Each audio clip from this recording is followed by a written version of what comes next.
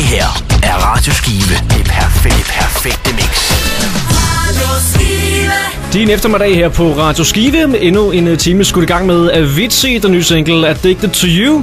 Jeg er Daniel Ørum, og jeg har fået besøg i studiet af Linse Kessler. Velkommen Yay, til. Ja, tak. Dejligt, at du kunne komme. Det var dejligt at kunne komme. Det har været en, øh, en lang tur herovre. Ja, den har været lidt lang, det gør ikke noget. Jeg elsker Jylland. Ja, og du har, du har taget din hund med. Jeg har onkel Tino med. Ja, hvad er det for en, øh, en hund, du har? Onkel Tino, han er sådan en engelsk Staffordshire Bull Terrier. Okay, hvor lang tid har du haft ham, og hvor gammel Snart er han? syv år. Han bliver syv her til mig. syv.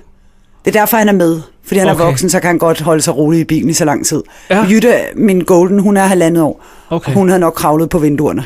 About now. Han, han er stille og rolig. ja, han er ved at være en gammel gut. Det er noget med, at han lige, han lige kunne trække. Han kan Ja, et trick. Ja, Skal vi lige, Ja, skal vi lige lytterne skal lige høre det? ja. Hvad siger hun? Sådan. Det er dejligt radiovenligt trick ja, også. ja, det er det, fordi så kan vi sige... Fik du sagt hej til dem, Tino? Ja, det var godt.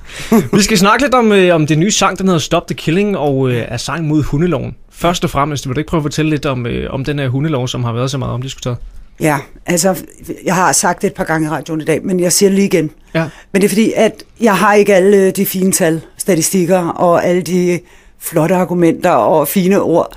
Og det jo også en af grundene til, at jeg faktisk lavede en sang. Ja. Det er fordi, jeg er god til at demonstrere, og jeg er god til at blive set og, og hørt, og min Facebook er der ret, rigtig mange på. Men jeg er ikke hende, som der lige præcis lige kan korte ud for dig, sådan der, sådan der, og paragraf, skambidsparagrafen og så videre. Så det var derfor, jeg faktisk jeg fandt på at lave en sang. Ja, For så kunne jeg gøre det sådan. okay. Og, øh, men, men der er selvfølgelig, jeg, jeg er utilfreds i det store hele, er jeg utilfreds med, at, at vi slår hunden ihjel.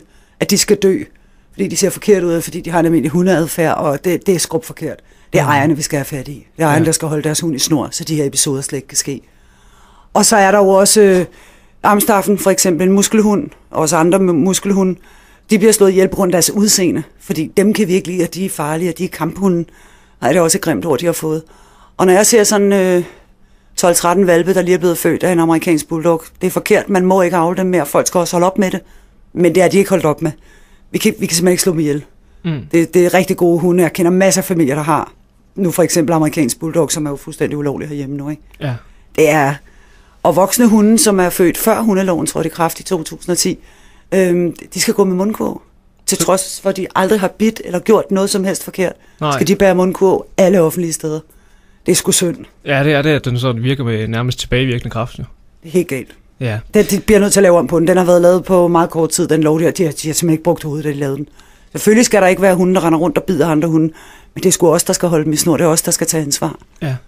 Hvad med lige nu? Hvordan ser det ud nu? Lige nu er de faktisk i gang Ja. inde på Christiansborg, og de blev afbrudt her. Og det er fredags, tror jeg nok. Der blev de afbrudt, og, øh, men de fortsætter, og de er i gang med at behandle. Og det synes jeg er virkelig dejligt. Fordi vi er pænt trætte af at stå i regnvejr og råbe og skrige ned med hundeloven, ikke? men vi fortsætter selvfølgelig, men det kunne da være rart, hvis... Altså det er i hvert fald, øh, de, de får set på det nu, Mm. og får snakket om det. Der er en observationsliste, som der har været der hele tiden, hvor øh, for eksempel min hund Chino, han er på den. Men, og den er de fjernet. Ja. Men det er lidt en... Øh, det er lidt, lidt ikke vigtigt, fordi det var jo en observationsliste, så mm. det kan vi ikke rigtig bruge til noget. Det kunne selvfølgelig have gået den anden vej.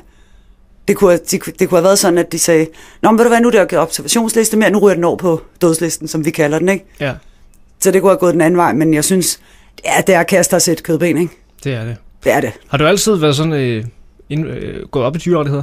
Ja, dyr og, og unger. Ja. Og måske også spasser og sådan noget. Ja. Fordi jeg synes, det er synd. Vi skal passe på dem. De kan ikke klare sig selv. Vi bliver nødt til at passe på dem. Det, jeg, undskyld, jeg sagde spasser. Det er bare, du ved, det Ja. kalder jeg spastiker, og det ved jeg godt, det er ikke noget pænt ord, men jeg mener noget godt med det, ikke? Mm. Jeg får altid sagt snakket bryggesprog, og det nogle gange, ja, det, Det er helt okay. lidt forkert, men jeg kan godt lide spasser. Jeg synes, vi skal prøve at høre din øh, sang Stop the Killing, og så kan ja. Vi øh, snakke lidt om den bagefter. Det Jeps. her er Radioskive. Det perfekte, perfekte mix. Din eftermiddag på Radio Skive. Jeg er Daniel Ørum og har stadigvæk øh, Linse Kessler med i studiet. Og mens øh, der lige var reklamer, så stod vi lige og snakkede lidt om hunde, der måske ikke lige kan opføre sig helt ordentligt. Og du var, ved, du var ved at fortælle en historie, som jeg ikke lige fik slutningen på.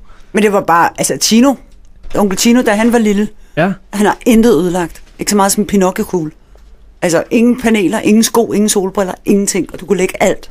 ja. Men Jytte til gengæld, min golden pige, hun har spist mange paneler, og hun hygger sig.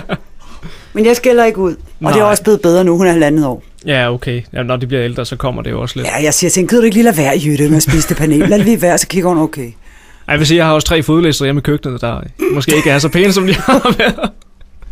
Sådan er det jo. Ja, Vi skal snakke lidt øh, om din sang, Stop Ja. the Killing, som Mm. var her lige før, lige før nyhederne. Hvordan blev sangen til? Hvor lang tid har den været undervejs?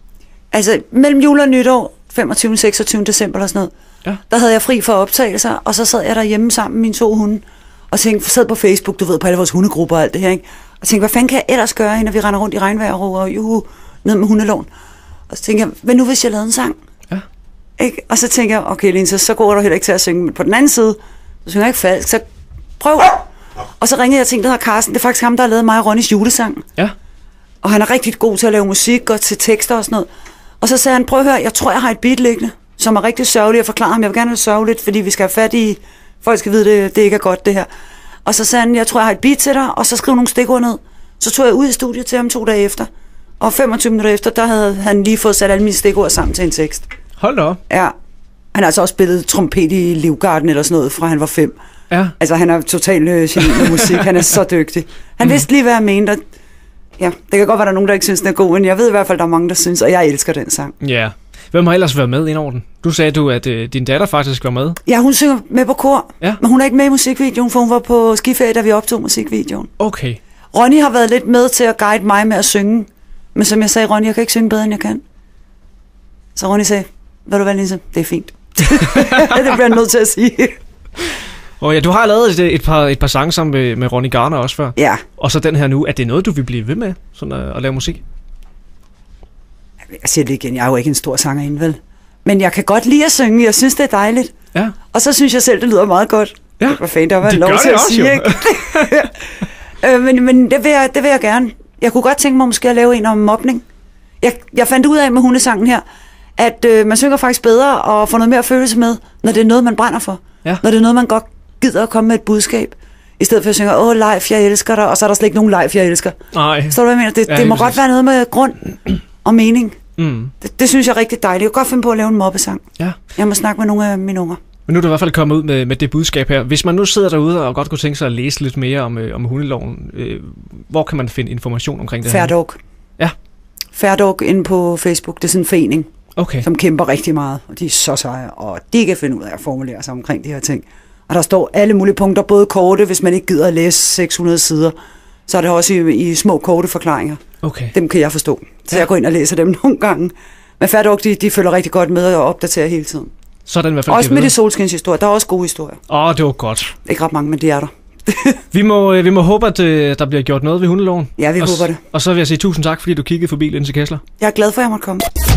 Det her er Radioskive. Det perfekte, perfekte mix. Radioskive.